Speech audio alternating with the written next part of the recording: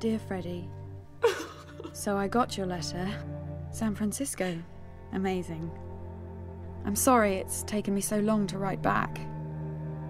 There are life's natural heroes, and then there's you. Your words. You always believe somewhere deep in you that there is a coward. I wish I'd told you that that's not true. Because you leapt while I stayed.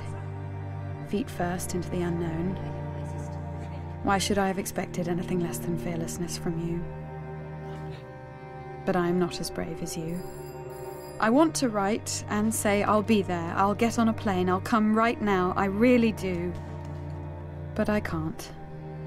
Not because I don't love you. I love you, Freddie Lyon. But because you won't even get this letter. Because I won't ever send it. I'm the coward, Freddie. Not you. So instead, I'm sending this prayer out there. Just hoping that somehow you'll know to come home. Just please come home. Now, soon. And maybe your courage will make me brave too. Just come home. And I will leap too.